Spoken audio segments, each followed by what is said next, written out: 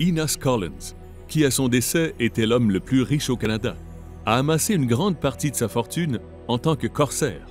Il utilisait ses navires pour capturer les vaisseaux ennemis en mer. Un corsaire n'est pas un pirate, je dois absolument le préciser. Un corsaire détient une licence du gouvernement, une commission, et on ne peut être corsaire qu'en temps de guerre. Les corsaires pratiquent la guerre de course. Certains qualifient cette pratique de piraterie légalisée, mais ceci n'est pas tout à fait exact, puisque les corsaires étaient titulaires de permis. Ils disposaient de ce document magique appelé lettre de marque, qui leur permettait d'établir leur marine privée, mais il fallait respecter toute une série de règles. Les corsaires peuvent prendre différentes formes.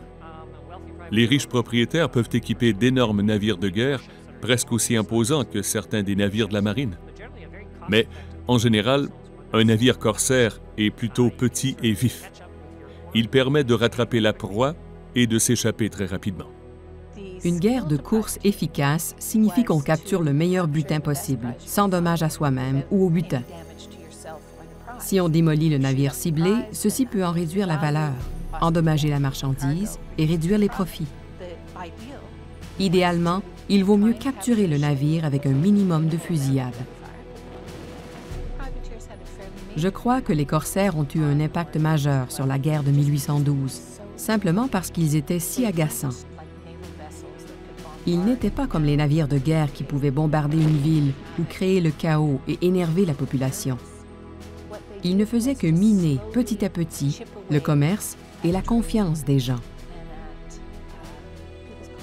Des villes comme Boston et New York perdaient sans cesse des navires chargés de farine, de sel, de mélasse et de sucre, tous ces produits familiers dont ils avaient besoin.